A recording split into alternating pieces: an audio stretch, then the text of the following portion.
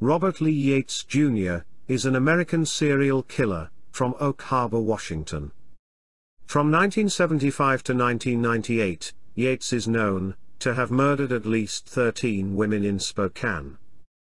Yates also confessed to two murders committed in Walla Walla in 1975, and a 1988 murder committed in Skagit County.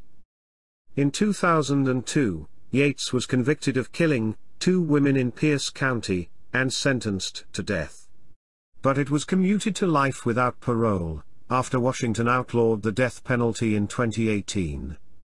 He is currently serving life in prison, at the Washington State Penitentiary. This is the sickening story of the Spokane serial killer, Robert Lee Yates, Jr.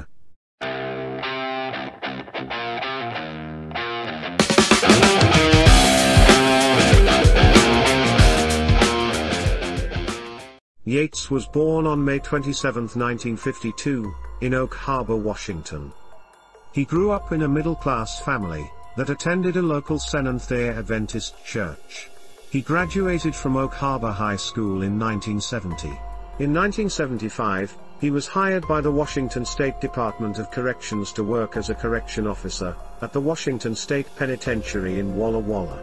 In October 1977 Yates enlisted in the United States Army, in which he became certified to fly, civilian transport airplanes and helicopters. Yates was stationed in various countries outside the continental United States, including Germany, and later Somalia and Haiti, during the United Nations peacekeeping missions of the 1990s. Yates also served three years in the Army National Guard, as a helicopter pilot, from April 1997 through April 2000. He earned several commendations and service medals during his military career, including the U.S. Army Master Aviator Badge. Yates left the Army in April 1996, apparently a year and a half short of being eligible for his full retirement benefits and pension. At this time the military was reducing its numbers, so he got his full retirement despite being short of the customary 20 years served.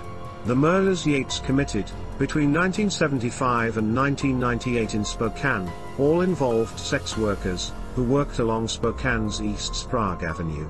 The victims were initially solicited for sex work by Yates, who would have sex with them, often in his 1979 Ford van, sometimes do drugs with them, then kill them and dump their bodies in rural locations. All of his victims died of gunshot wounds to the head. Eight of the murders were committed with a Raven .25 caliber handgun, and one attempted murder was linked to the same model of handgun. Autopsies of two of the victims indicated that the killer was a marksman, aiming for the heart. One particularly bizarre detail of Yates' murders involved the case of Melody Murfin, whose body was buried just outside the bedroom window of Yates' family home, while his wife was sleeping in the room. On August 1, 1998, Yates picked up sex worker Christine Smith, who managed to escape after being shot, assaulted, and robbed. On September 19, 1998, Yates was asked to give a DNA sample to the Spokane police, after being stopped. He refused, stating that it was too extreme of a request for a family man. Yates was arrested on April 18, 2000, for the murder of Jennifer Joseph. After his arrest, a search warrant was executed on a 1977 white Corvette that he had previously owned. A white Corvette had been identified as the vehicle that one of the victims had last been seen in. Coincidentally, Yates had been pulled over in this vehicle, while the task force was searching for it, but the field interview report was misread, as saying Camaro, and not Corvette, thus the incident was not realized, until after Yates had been arrested.